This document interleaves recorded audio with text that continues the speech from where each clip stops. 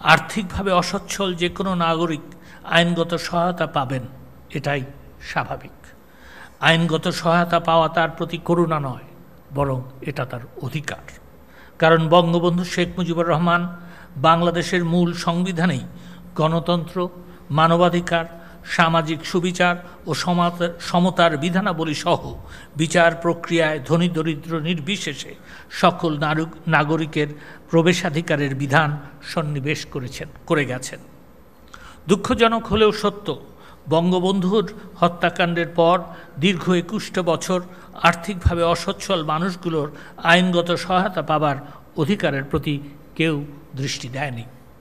ধন্যবাদ, মাননীয় প্রধানমন্ত্রী জননেত্রী শেখ হাসিনাকে। তিনি প্রথমবার সরকার গঠন করেই দুই হাজার সালে আইনগত সহায়তা প্রদান আইন প্রণয়ন করেন।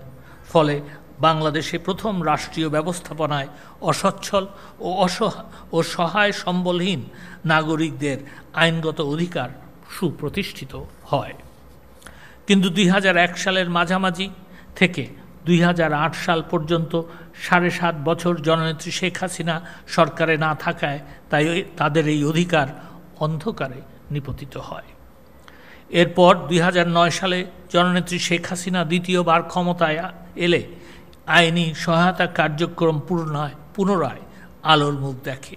এই অভিযাত্রায় তার সরকার আইনি সহায়তা কার্যক্রম রাজধানী থেকে তৃণমূল পর্যায় পর্যন্ত সম্প্রসারণ করতে যুগান্ত, যুগান্তকারী বহুমুখী পদক্ষেপ নেন, যার মধ্যে অন্যতম হল ঢাকায় জাতীয় আইনগত সহায়তা প্রদান সংস্থার প্রধান কার্যালয় স্থাপনের মাধ্যমে চৌষট্টিটি জেলায় লিগ্যাল এইড অফিস স্থাপন। এরই ধারাবাহিকতায় আমরা উপজেলা ও ইউনিয়ন লিগ্যাল এইড কমিটি এবং চৌকি আদালত ও শ্রম আদালতে বিশেষ লিগ্যাল এইড কমিটি গঠন করি। শ্রম আদালতে শ্রমিক আইন সহায়তা সেল চালু করি। আবার দরিদ্র, অসহায় মানুষ যাতে দেশের সর্বোচ্চ আদালতে এসে ন্যায় বিচার পান, সেজন্য দুই হাজার পনেরো সালে সুপ্রিম কোর্টে আনুষ্ঠানিকভাবে লিগেল এইড অফিসের কার্যক্রম শুরু হয়। সরকারি আইনি সেবা প্রদান আরও বিস্তৃত ও সহজ করার লক্ষ্যে আমরা দুই হাজার ষোলো সালে জাতীয় আইনগত আইনগত সহায়তা প্রদান সংস্থার প্রধান কার্যালয়ে টোল ফ্রি জাতীয় হেল্পলাইন এক ছয় চার তিন শূন্য চালু করেছি। এছাড়া লিগল এইড কার্যক্রমকে জোরদার করতে প্রতিটি লিগল এইড অফিসে একজন করে জুডিশিয়াল অফিসারকে পূর্ণকালীন লিগল এইড অফিসার হিসাবে পদায়ন করা হয়েছে। সম্মানিত উপস্থিতি, আপনারা জানেন মামলার সঠিক ব্যবস্থাপনার পাশাপাশি বিকল্প বিরোধ নিষ্পত্তি পদ্ধতি বা এডিআর মামলা জট নিরসনের সহায়ক একটি পন্থা হিসাবে বিশ্বব্যাপী স্বীকৃত।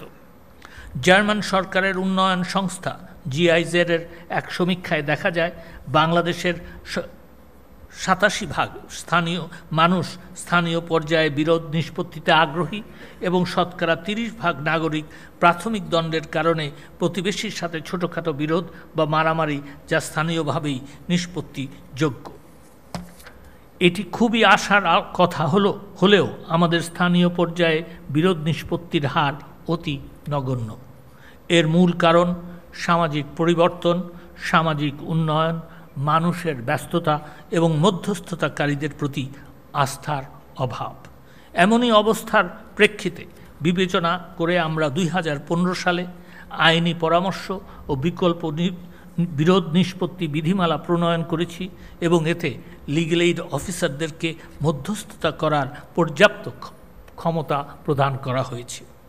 সুখবর হলো উক্ত ক্ষমতা প্রয়োগ করে লিগেল এইড অফিসারগণ জুলাই দুই হাজার পনেরো সাল থেকে মার্চ দুই হাজার চব্বিশ সাল পর্যন্ত এক লক্ষ দশ হাজার চারশো ছত্রিশটি বিরোধ নিষ্পত্তি করেছেন। তারা যেহেতু বিচারক এবং আইনি বিধিবিধানের অধীনে মধ্যস্থতা করে থাকেন, তাই লিগেল এইড অফিসগুলো এখন বিকল্প বিরোধ নিষ্পত্তিতে মানুষের আস্থার প্রতীকে পরিণত হয়েছে। এই আস্থা আমাদের ধরে রাখতে হবে। এই আস্থা আমাদের আরও মজবুত করতে হবে। সম্মানিত সুধীবৃন্দ, মাননীয় প্রধানমন্ত্রী শেখ হাসিনার বলিষ্ঠ নেতৃত্বে আইনের শাসন ও মানবাধিকার প্রতিষ্ঠা সহ সকল ক্ষেত্রে বাংলাদেশ এগিয়ে যাচ্ছে। স্বল্পোন্নত দেশ থেকে উন্নয়নশীল দেশে উত্তরণ করেছে। বঙ্গবন্ধু কন্যার নতুন স্বপ্ন দুই হাজার একচল্লিশ সালের মধ্যে স্মার্ট বাংলাদেশ গড়ে তোলা। সে কারণে এবছর দিবসটির প্রতিপাদ্য নির্ধারণ করা হয়েছে স্মার্ট লিগল স্মার্ট দেশ, বঙ্গবন্ধুর বাংলাদেশ। এই প্রতিপাদ্যকে ধারণ করে সরকারি আইনি সহায়তা কার্যক্রম আরও সফল ও বেগবান হবে বলে আমি বিশ্বাস করি। শেষ করার আগে শুধু বল- বলব, আমাদের মূল উদ্দেশ্য দরিদ্র, অসহায় মানুষকে আইনি সহায়তা প্রদান করা।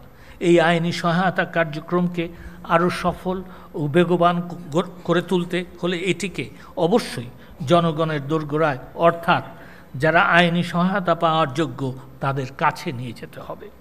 আর তা করতে হলে উপজেলা ও ইউনিয়ন লিগল এইড কমিটিকেও অধিকতর কার্যকর করতে হবে। কারাগারগুলোকে গুলোর সাথে যোগাযোগ বাড়াতে হবে। আইনি সহায়তা প্রদানকালে পুঁথিগত আইন প্রয়োগের দৃষ্টির পাশাপাশি সামাজিক ও মানবিক দৃষ্টিকোণকেও স্থান দেওয়া উচিত। পাশাপাশি আইনগত সহায়তার বিষয়ে জনসচেতনতা বৃদ্ধিসহ স্বপ্রণোদিত, দ্রুত ও কার্যকর আইনি সেবা নিশ্চিত করতে বিভিন্ন সরকারি ও বেসরকারি সংস্থার সঙ্গে অংশীদারিত্ব বৃদ্ধির বিষয়টিও গুরুত্বর সাথে বিবেচনা করা প্রয়োজন। আমার বিশ্বাস, প্রত্যেক legal aid committee legal aid officer ও প্যানেল আইনজীবী সহ সংশ্লিষ্ট সকলে এ বিষয়ে দায়িত্বশীল ভূমিকা পালন করলে আমরা অবশ্যই বঙ্গবন্ধুর স্বপ্ন বাস্তবায়ন করতে পারব।